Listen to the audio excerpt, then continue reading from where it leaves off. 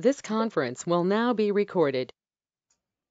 Hi, everybody. Welcome back. I'm Anne Ortelee. This is the weekly weather from May 4th to May 12th. A little late, but we're getting it up. We're getting moving again. Uh, the weekly weather is back. Uh, it is back. it's been a couple of months. It's been a busy couple of months here at Anne Ortelee's land. Uh, and the eclipses are done. So first we'll tell you why I've been gone, and then we'll get into the weekly weather, and hopefully we will be back on target doing it every Sunday as you came to expect since 2006 when I have been recording this since 2006. I didn't realize it'd been quite so long, but it's nice to be back. As you can see, I'm still in Florida. Um, life has been a little wild and hectic. So uh, first up, where have I been? Always good to answer those questions with uh, direct answers. Okay, so what happened here? Uh, you can see the time 5:34, March 8th. So I think the last recording I did was the beginning of March, and I got a text from my brother-in-law saying, "Sis, give me a call." And uh, this is my natal chart for the time of the call arriving. You can see over here the ascendant and Juno are on my sun moon midpoint. Midpoints are really important aspects or sensitive charts because the sun is your purpose and the moon is your emotion. And so 18 and 6 halfway through is 12. So you can see the ascendant right there with Juno, partnership energy. Juno, in my case, is on a world point, and you can see the progressed moon is there, as is Jupiter. So I'm anticipating some big stuff going on in relationships. You can also see solar arc Uranus there on my Mercury. Mercury rules my fourth house, my third house of siblings, my fifth house of my younger sister, who Bruce is married to. And um, so I was looking at this incoming, and of course, the eclipse was right on that Mercury, what we'll talk about in a bit. And then appear the sun in Scorpio, trining my Jupiter Uranus, uh, and Pallas Athena right on the midheaven. And then most importantly, Mars here, just on my ascendant, coming to my progressed Mars in my first house. Now we always have Mars happen a little before the exactitude, right? So literally a degree before. And then here we see uh, the sun at 18 Pisces, exactly opposite my sun in Virgo. And we see Saturn uh, here at 10 uh, Pisces, opposite my Juno, but in kind of a day or two. And also Saturn here squaring my progressed descendant at 10 Gemini. So you can see there's a lot, and I mean, I was watching my chart. I knew there was a lot going on in there. There's other stuff too, but those are the highlights. And also uh, Ceres up here is lined up with solar arc Ceres, and the Venus is on my node, right, my north node. So we know Anne's going to have some excitement uh, with these trans and Jupiter Uranus. It was an unexpected call, and literally the transiting midheaven for the moment of the call was right on my ascendant. So we can see alerts, watch it, and then it's Mercury Neptune. Little did I know that I would be descending into Neptune land. Uh, and so my brother called, my brother-in-law called to say my sister hadn't been eating and drinking. And she has dementia. Um, and this is her. This is me and her at her wedding back in 97. This is her. She was very athletic as a kid, a lot of head trauma. So she has the same kind of dementia that Bruce Willis has. Frontal temporal, right front, now it's left front. What happens is their brain shrinks. And then this is the three of us at the beach. I'm probably about 12 there, um, 12 or 13 and she's a little blonde one there. So um, so he said she's not eating or drinking. So that was a Friday night. It preceded a whole weekend of okay, what are we going to do? Take her to the hospital. She hadn't eaten in a couple of days. Uh, she was in bed, refusing to get up, refusing to move, uh, to leave the bed, and just not eating or drinking. So we called hospice. Yes, she has dementia. It's a terminal, ultimately a terminal illness. And obviously, if she doesn't eat or drink for a few days or a few weeks, she's going to die. So that was the that was that phone call. And of course, you notice it was right before we headed into eclipse season because it was on March 8th.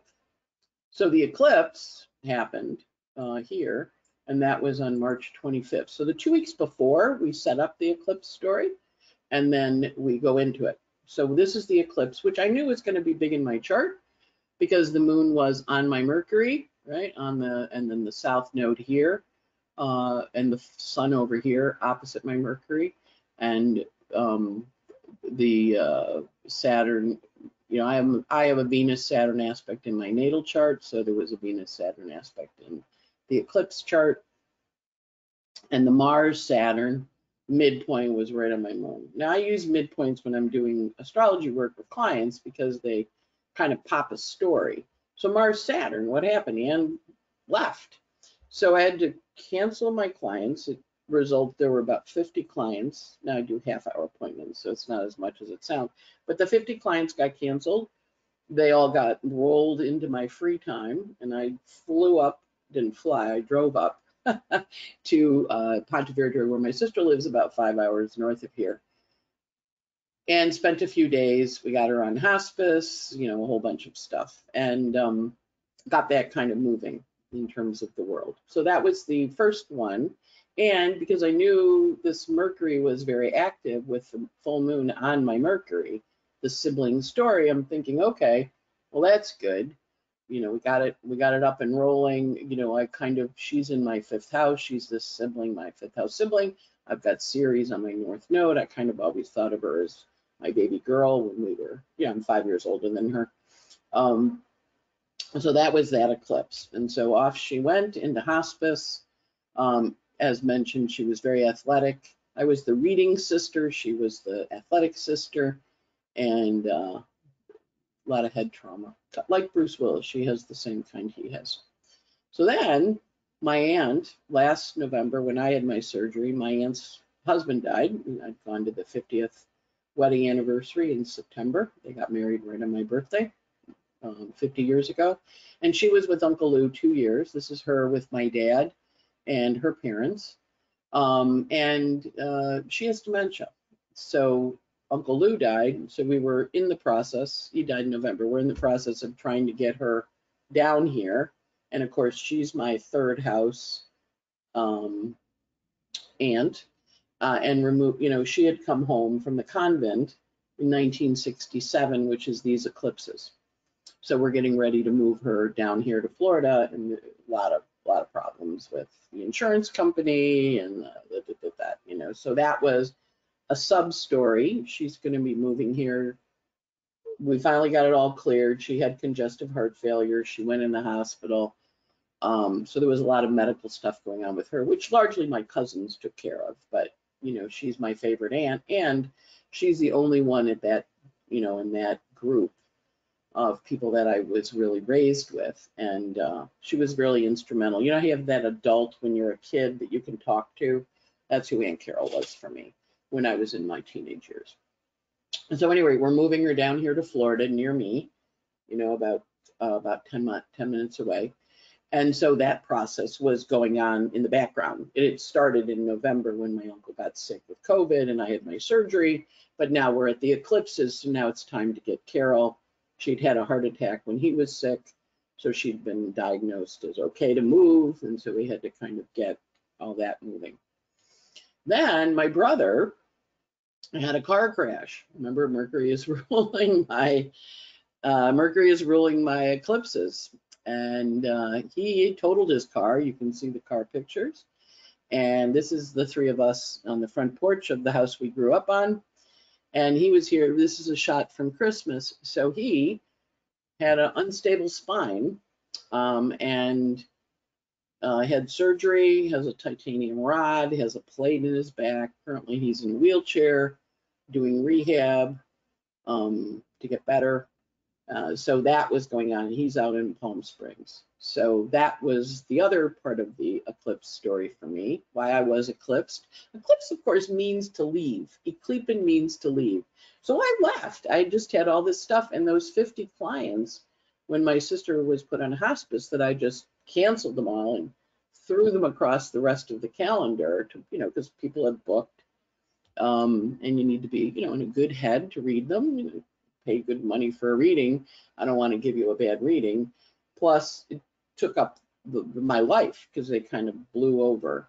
So I caused me also to adjust my calendar and kind of think about, well, what can I do? And then catching up with all the clients who had booked and got canceled and all the clients who had booked and not been canceled.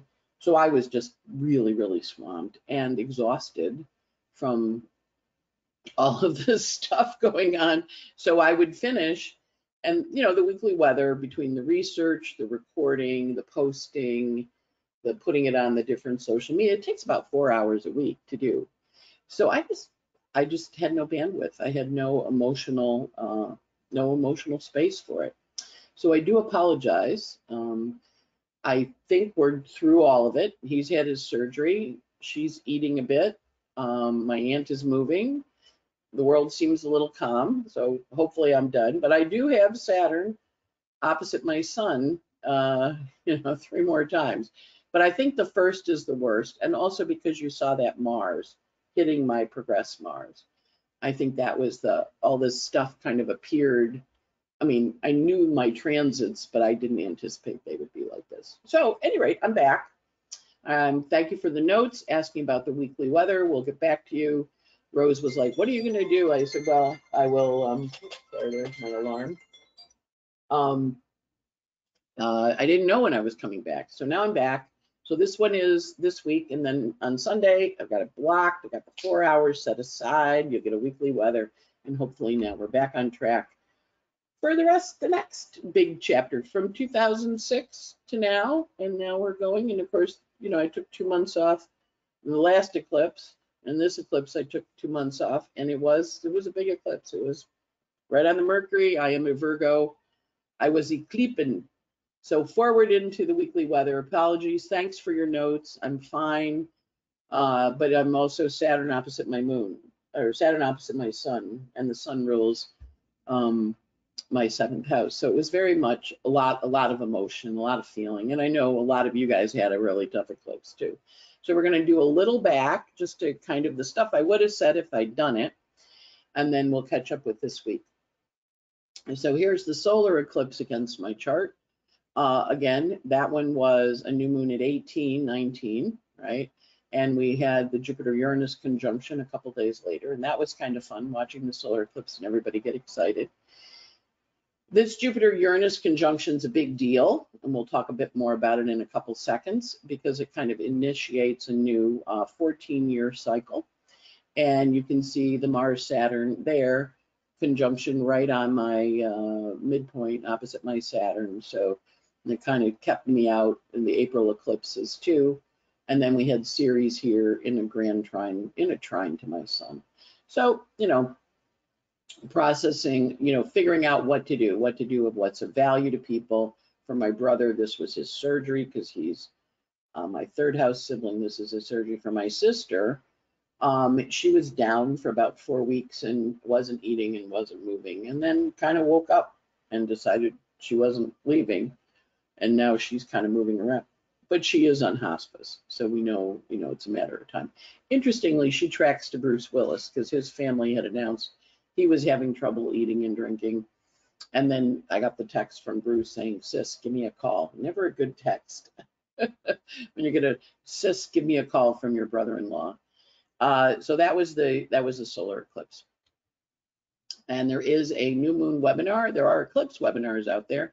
But there also is a new moon webinar because we just had one this week on February 7th, and you can do your new moon ritual uh, the next few days. Today the moon is out of bounds in Gemini, then it'll be in Cancer. When it gets to Leo, uh, you know, and all the moons this all the moons this month, this week for the new moon ritual have closing aspect to Neptune. All right, here's our list of aspects for the day, the month of May. We had Pluto station to go retrograde back on May 2nd. So he's now retrograde until October. So we're going to be working with him. We also still have Mercury in his retrograde shadow. Uh, and Mercury is um, went into his shadow on March 9th, right around when I disappeared, because uh, I think the last podcast I did was the first week in March. He entered his retrograde shadow, and I am a Virgo, so Virgo Mercury rules me. Um, entered his shadow March 18th, went retrograde on April 1st, went direct on April 25th, and these are all in Aries. He clears his shadow next week on May 13th, and he finally leaves Aries on May 15th. Now you're still talking to your ghosts, right? And this was a big Mercury retrograde. Mercury isn't Mercury retrogrades are in fire the whole year, and he is uh, this particular one. When we had him, he was kind of a big deal. So here is the solar eclipse chart that we had as it fired off. It did not have a lot of air. Uh, if you remember back on April 8th, it's kind of a nice energy. It's a, it's actually a fairly nice chart. Path of totality was uh, four minutes and 12 seconds. So that means when it's a solar eclipse, it means we work with years. So that means it's going to be four and a quarter years because 13 minutes is a, almost a quarter of an hour. Um, divide the minutes by five to get the months, right? So 13 divided by five is two and a half months. Um, so the solar eclipse, of course, it went from Texas through Vermont and a lot of, a lot of hoo-ha around it. I'm sure you, you were there, you paid attention. Um, the path of totality is here as it runs up. Uh, and of course, last five and a half years ago, we had the eclipse come in here over Washington, and that brought the um, that brought the COVID. It came across to South Carolina. This one is coming in through the south, and it's an Aries Libra eclipse. So it's a lot about what direction are we heading in, and of course it includes all the border business. And you know, back then there were politics. Got a border deal, cancel the border deal. You you were there, uh, and I was there. Just we weren't talking. Uh, this is the path of the eclipse in, in, its totality. These are the paths of visibility. You can kind of see them there. Again, had we had the had we had the weekly weather during it, I would have talked about it but it also launched what we call a lunar phase family. So you're going to watch what happened on the eclipse here at April 8th. It was at 19. The opening square will be next January when the sun is in Capricorn and the moon is in Aries. And then the full moon will be next October 25th, October of 25, when the sun is in Libra and the moon is in Aries. And then the closing will be uh, sun in Cancer, closing quarter, closing square, Sun in Cancer on July 7th with the Sun and Moon at 15, Cancer Sun, 15 Aries Moon. So these, this is the longer phases of how that eclipse is going to roll over your life. Note these dates, watch the events that happened under these eclipses, and know this is the time frame for them. And as you know, as you can tell, this was a big eclipse in my life, uh, being at 19. Um, Aries kind of filling out my T-square. So I'm going to pay attention to these dates really well. Uh, so that nice energy of it. Now we also have Mars conjunct Saturn, uh, which is a big deal, and that happened. Um, and then Mars also met up with Neptune. So Mars conjunct Saturn we watch. That happened on April 10th because that is launching a new two-year cycle of how Mars takes action around karma. And Saturn was on a fixed star that represents karma. Uh, Art, Art, Achernar is at the end of the river, and he spent most of the month kind of parked on that. And the energy of uh, thinking about your purpose, your karma, why you're here, as we have these eclipses. The other thing is we have a lot of energy in the sky about endings, right? Changes, transformations. People are very wobbly. And that comes from five planets five. All of the outer planets are changing signs this year and it early next year. So Jupiter changes every year. So that one we're used to. But Saturn, he's finishing a 29 year cycle of karma as he finishes up with the Pisces planets back to 95, 96. And what was going on for you then? Back to 67 and what was going on then. That's why we see all the civil rights stuff going on. Um, Uranus is been in Taurus for a long time. He's going to go into Gemini next year. Uh, and that, of course, is a big shift for him uh, from Earth, Earth, Earth to air. Uh, Jupiter right now is in Taurus, a sign of his exaltation, which is nice. But at May 31st, he goes into Gemini and he will be in the sign of his fall, which is not, makes next year um, from May, May 31st to June 22nd, next 2025, that's going to be a little difficult. You're going to have to do everything two times. And we'll talk more about that when we get to the May 31st date, but we know the Jupiter's changing. We know the Saturn's going to leave Pisces and go into Aries. Saturn in Aries is not a sign he likes. That happens next spring, but he's in this wrap up mode of everything you've been working on since 1967, 68, and 1995, 96, right? So you're back in those days. Uranus changing. He spends eight years in a sign, taking or seven seven years in a sign, and it takes him 84 years to go around. So he's going to shift. He's been in Taurus since 16, uh, and he's going to change into Gemini, where he's a little more freewheeling. He's a little more able to get things accomplished. Neptune, he's going to be at 29 all summer, uh, and he is shifting into Aries. Last, he takes 165 years to go around the circle around the chart. Last time he was in Aries was the Civil War the United States. Um, again, Neptune in fire. He's in Pisces now. Um, so he's dissolving things. He, he's dissolving stuff. And Pluto has been dancing back and forth between the last degree of rock, Capricorn, and air, Aquarius. So right now he's in Aquarius. He just went retrograde a couple days ago. And he will go back into Capricorn for the election, September, October, November. 20th through November 20th, where we get to decide what we want to do about the power structures that govern us and the kind of government we want. Um, so that's Pluto. So that's a lot of planets. It's very rare that that many planets shift in like such a short uh, 12 month window.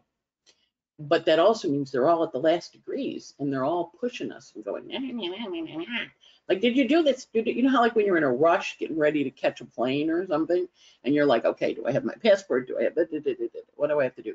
So the planets are like that, but they're also very unstable because they're wrapping up systems and cycles that began. Neptune, Neptune's case began 14 years ago when he went in Pisces. So if you think back to 2010, there's a lot of these old stories kind of coming up and wanting to be resolved, wanting to be worked with on a deeper level. Next up, we have on April 20th, we have this Jupiter-Uranus conjunction, which happens every 14 years in uh, a sign. The last time it happened was in 210, and that was the last degree of Pisces, where Neptune is now, and Aries, zero Aries. So we started a cycle then, and there was one in 97, which was in Sag.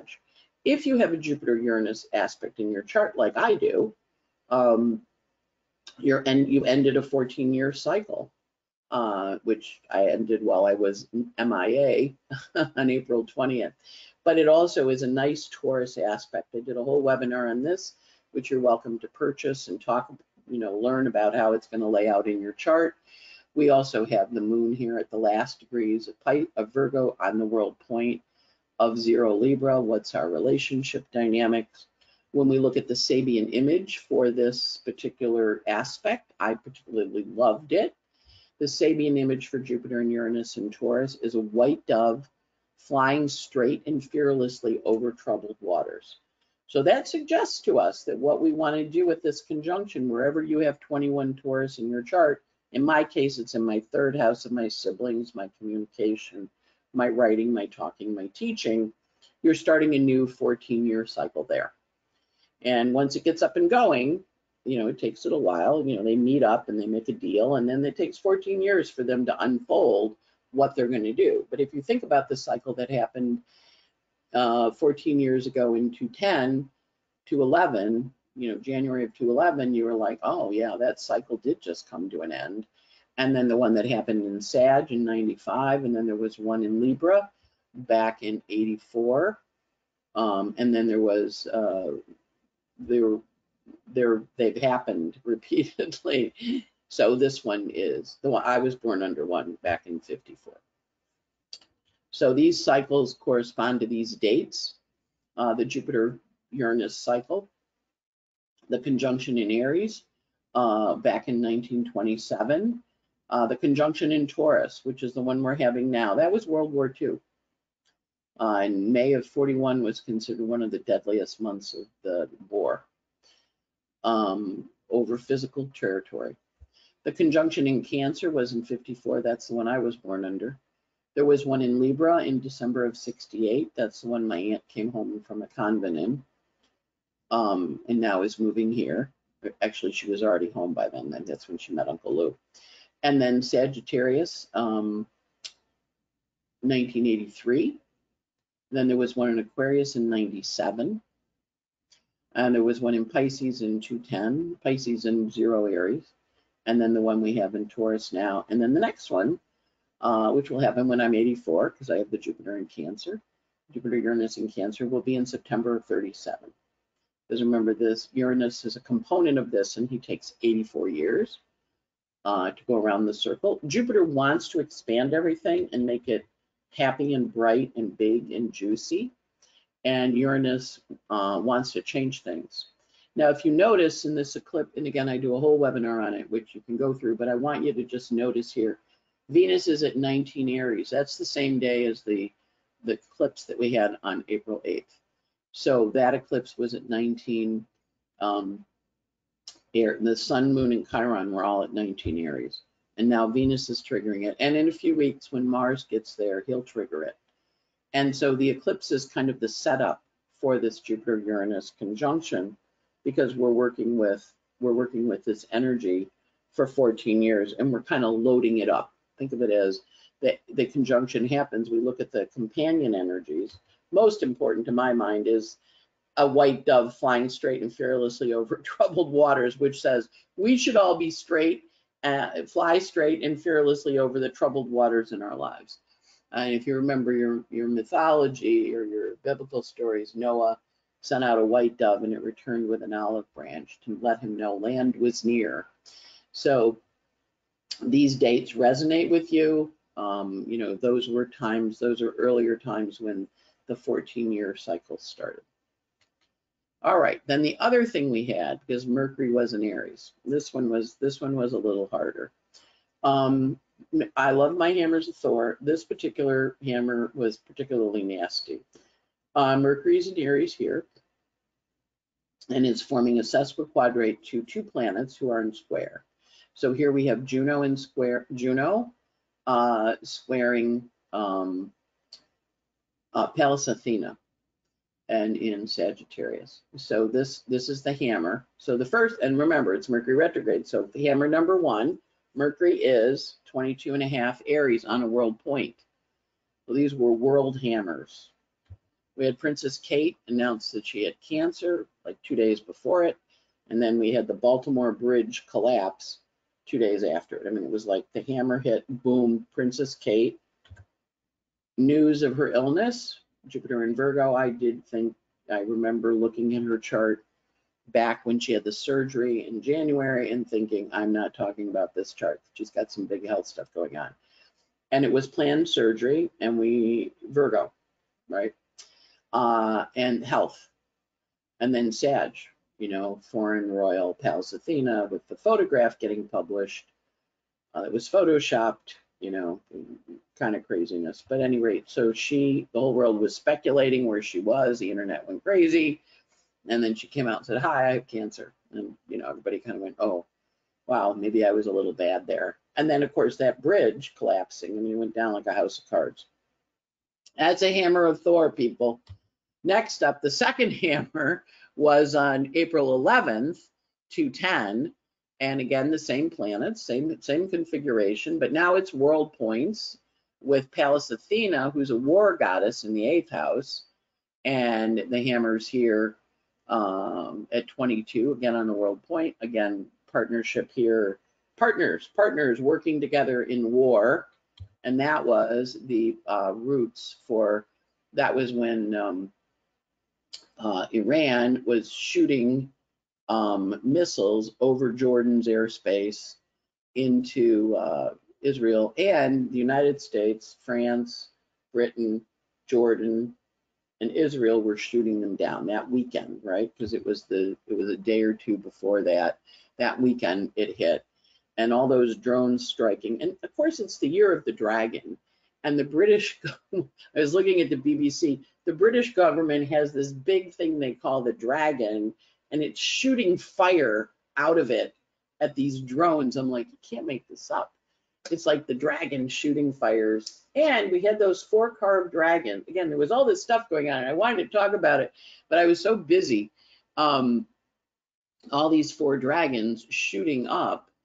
Uh, they caught on fire, these four wooden dragons, on four years after the uh, cathedral in Notre Dame in um, France, in Paris, caught on fire. So the carved wooden dragons. And it is the year of the dragon. It's the year of the wood dragon. So there were wooden dragons in the news.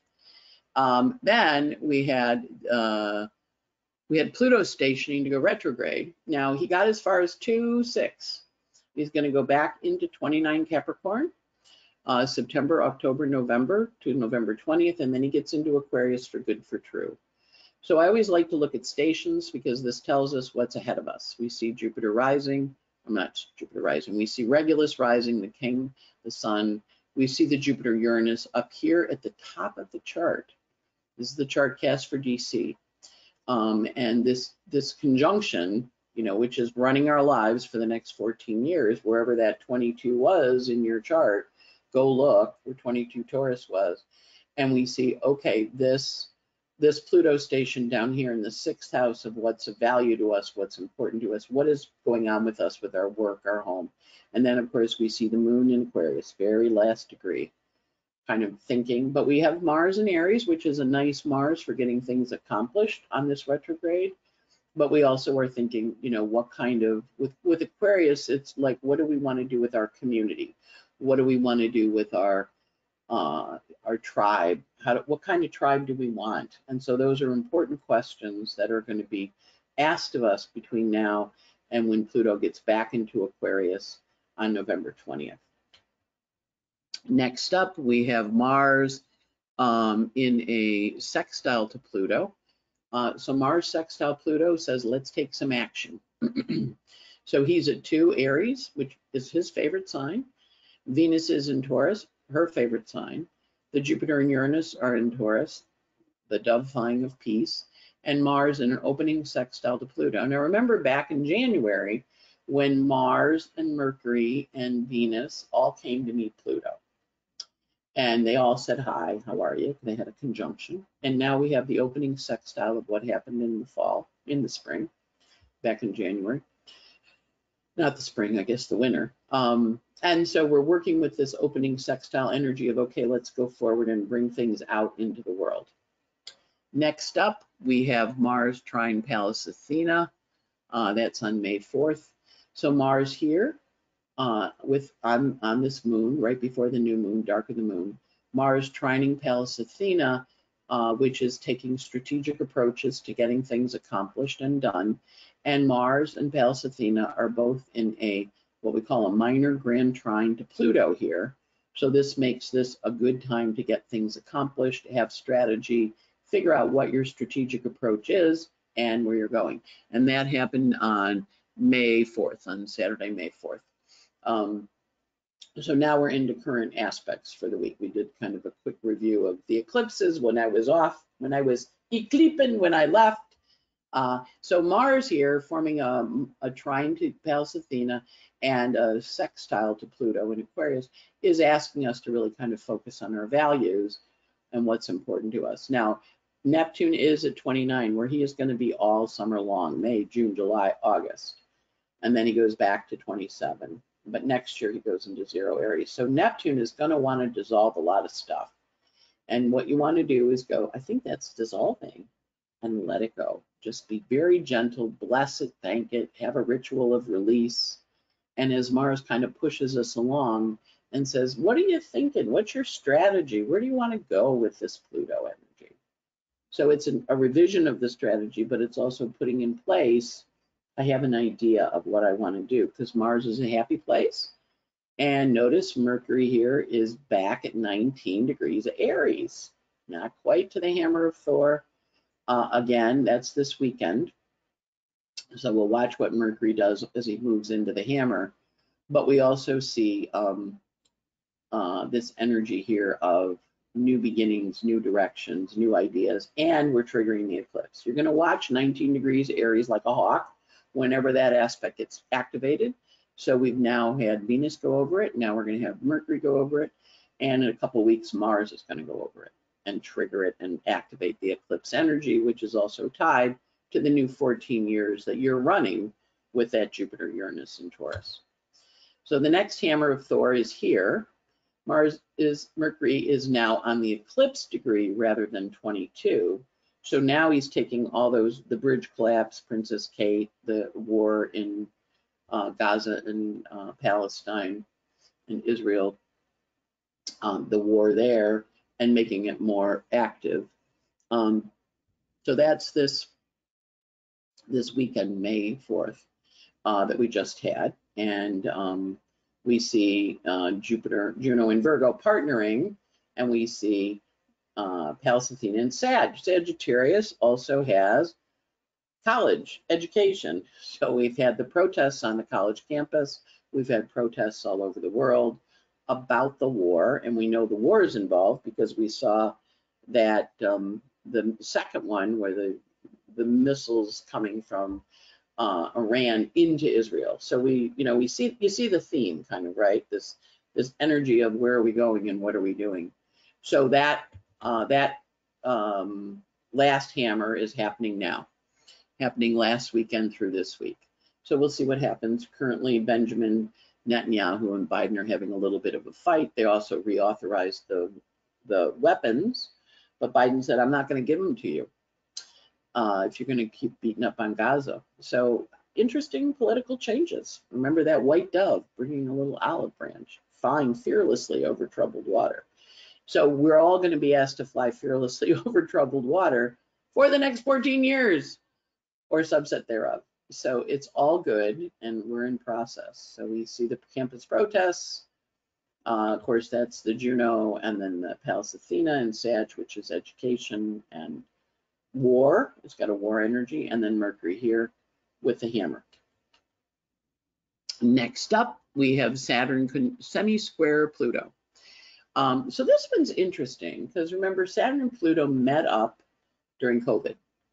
They met up in March of uh, 2020, or actually the, the winter of 2020. And that was COVID coming in. And now they're a semi-square. So semi-squares are stressful energies. They're a 45 degree angle. And what if I always make the analogy when I'm trying to explain a semi-square. It's kind of like when you pop a can open, like a can of tuna fish or a can of cat food or whatever, and the tab rips off and then you have to get the spoon and kind of pry it out. I think of semi-squares like that. They're a stressful energy. So Saturn is in a semi-square to Pluto, which is a stressful energy that's happening now. Saturn, of course, is authority. He's in a sign of Pisces, which is old. Pluto is, of course, a sign of war, as well as partnership, because he's in Aquarius, like who we're partnering with. And so we're having a fight with our partner you know, a lot of people say Biden uh, with Israel and Bibi, you know, wanting, you know, I mean, that whole story, which is, you can see how excited it is with all these planets sitting in a Greek chorus. And I'm uh, not going to spend a lot of time on it other than to say Israel is a Taurus country. And a lot of Leo, they have a, what we call a fixed square in their chart. And back when I was a baby astrologer, I used to teach, you know, different charts and stuff. And every time I taught the chart of Israel, we would pull it out, people would get excited. It was, it, it, it's got like a very defensive, argumentative energy in it. Obviously, this little country surrounded by people that want to kill it off. But it also has this, you know, it's it's it's a very strong chart because it's Taurus. You know, if you know the bull and you know the lion, got the lion and the bull in there, right? So um, their chart is obviously very active because they're currently at war. So I encourage you to go look at Israel's chart, examine it yourself. Don't don't talk to other astrologers about it because you'll get into you'll get into you'll get into stuff. But um, it's a fascinating chart and it's very active. So I'm not going to do it here um, because I've taught this chart many times and I know what how I know how it it's fire, it's fiery earth. Everybody gets very impassioned. But it's helpful to look at the transits to it because it is lit up like a Christmas tree. Um, very active right now. And of course, as is Iran's, uh, and it's very active. So, you know, pay attention to them. I don't have a working time for Hamas. So, but I definitely encourage you to do it on your own. I'm not doing it on the weekly weather. Um, all right, then we had a new moon this week. Ah, we love those new moons. So I have a when I had a new moon webinar on Sunday. If you're on my mailing list, you would have gotten notified about it. Um, and this is the new moon. Uh, it is a nice new moon. I would definitely encourage you to do a ritual. It's not too late. Um, it is a creative moon in the fifth house here in New York or in uh, Washington with Sag rising. Uh, and then the node's angular.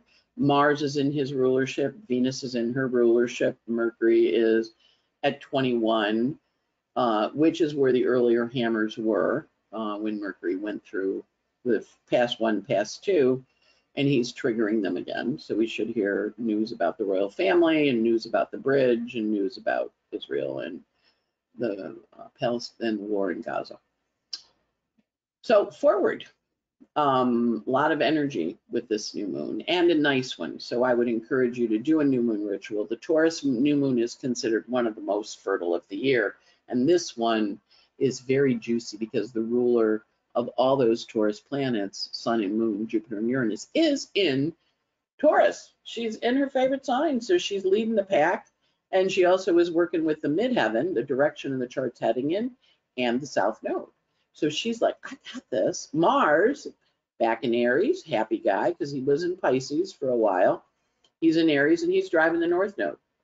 He's hopped in behind the steering wheel of the north node and he's like, let's go, let's go. So it's a very active, let's get things moving kind of chart.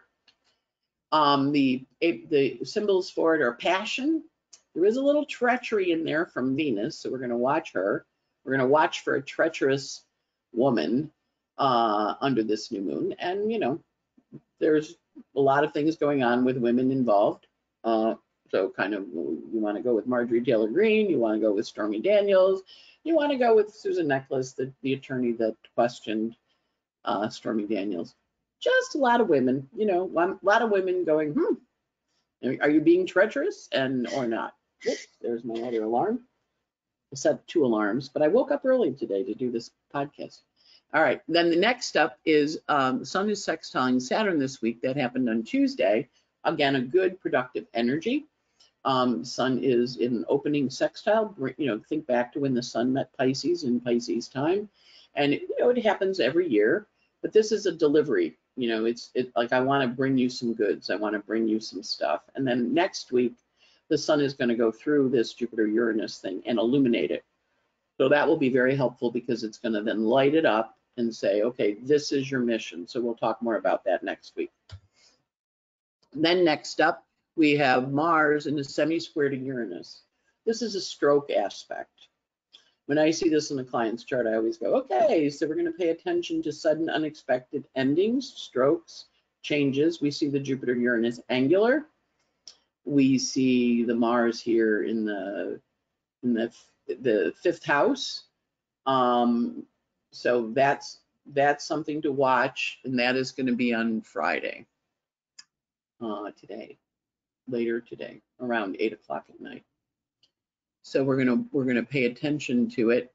That period of time tonight is very potent because we have the Mars Uranus. One of the reasons I wanted to do this, even though I was thinking I'd wait till Sunday. Kind of like, no, this is happening on Friday. Get it done do another one on Sunday. So the Mars Uranus semi-sextile, or semi-square rather, is a stress, stress energy and got a stroke component to it. Uh, unexpected health matters. And Venus is on a world point, as is Neptune, which is the next one. Venus is in a semi-square to Neptune, another aspect. Both of them are on world points. Notice this one is 821, 827, the other one's 821. So we know something big is happening today, uh, this evening, around 8 o'clock. This is being recorded on Friday morning. I thought, I'm not going to wait till I'm not going to wait till Sunday. This needs to go out. Any health aspects you have, pay attention. Pay attention. Pay it just for your time zone. So five o'clock for the California people. Um, and we also have Jupiter here on the fixed star Algol, uh, which is beheading and losing one's head. Doesn't have to be physical, it can also be just, you know, something happens. So we're gonna pay attention to this energy, it's very potent. And then here it is kind of broken down. You can see the Venus here on the world point of 15 Taurus, uh, in a semi-square to Neptune on the world point of 29 Pisces. We see Mars here in Aries, his favorite sign. Venus is in her favorite sign. Mars here, semi-square Uranus at 22 Taurus on the angle. Right. So this is a this has got a real big real big component. So we're going to really watch the news tonight, Friday night, because I'm doing this Friday morning, um, and see where it goes. And then I will be back on Sunday with next week. But do your new moon ritual. So there is a Taurus new moon manifestation recording available on my website. Feel free to purchase it. You get it slides, you get the audio, you get the visual. And then I also recorded a great Jupiter Uranus conjunction that we had on April 20th, which starts a new 14 year cycle, which I did a little bit here. There I do a two hour presentation on it and how to work with it and how it lands in your chart and all that kind of stuff. But it's definitely the great benefic Jupiter in his exaltation meeting up with Uranus saying, let's change, baby, let's get some stuff done. Uh, I also am working, there's an OPA retreat that will be taking place in October this year in Utah, in Newpark Resorts, right outside you fly into Salt Lake City. It's near Park City, uh, which is a ski resort out there. And obviously it's in October, so it's not going to be skiing, but it will be a little cold. Um, but there'll be a nice retreat uh, celebrating the Aquarian shift, everything shifting into Aquarius. And then my friend Alexandria and um, uh, Ariel Gutman are running a cruise, not a cruise, a tour in Australia, or not Australia, in Greece that will, I haven't had enough coffee yet. Have you noticed that? I haven't had enough coffee. They're running a tour in Greece that runs May 27th to June 9th and we will have a Sun Venus cazimi, a Venus star point. Ariel Gutman uh, teaches that uh, while they're on that tour. So it's a nice tour. Check out Alexandria Karacostas's website, K-A-R-A-C-O-S-T-A-S, Wisdom Astrology. So if you're interested in going to Greece with two astrologers leading a lovely retreat, May 27th to June 9th. And as always, couple of stars uh, is available for you to sign up for. Uh, you get a six to 10 minute audio, a list of the timed aspects of the day, uh, and a song sent to you. Sign up on Patreon for $17 a month. And then here we have Earth Rising. Wishing you a wonderful, wonderful, wonderful couple of days. I'll be back on Sunday. Uh, but I, I was like, I am doing this podcast. And I want you to know I would sit down and I would prep it and then it, the week would just go like that, and I would just go swept away. Bye. And Mars was hanging out with Neptune, swept away. Bye. So I'm back. Um, thank you for all the notes and love and cards, and thank you for the prayers. Uh, some of you knew what was going on because you're Patreon people. Um, and I was, you know, I was talking about it there. Uh, but also, you know, it's nice to be back. Um, the world is calming down. I adjusted my schedule so I don't, if something hits, because I still have three, I have two more passes of, um, well, Saturn to my sons. That's not done until February, end of February. But it's like, I'm looking at it, I'm looking at it and having to help, but I, there's nothing I can do. It's not like last fall when it was me, my moon getting attacked by Saturn. Attacked is the wrong word. Saturn coming to sit on my moon now it's like responsibilities. But I appreciate the thoughts, the prayers, the help, the notes. Um, Rose is like, when are you doing the weekly weather? I said, oh, Rose. But I think we're back. I need the bandwidth to do it. And so I've adjusted my schedule so the weekly weather will have its four hours that it needs. And I appreciate all your help and appreciate the love. And hopefully um, you, you saw the astrology in action, including the sis, please call me at 5:53 where I just went whoosh off into the eclipse hole. And that is why I believe in eclipses. Uh, the eclipses are here. They're, they came, they went, you all had them. Hopefully you all survived well and are here on the other side getting ready for our next chapter, which looks to be quite a bit of fun. Take care, and I'll talk to you next week. Bye. Or talk to you on Sunday.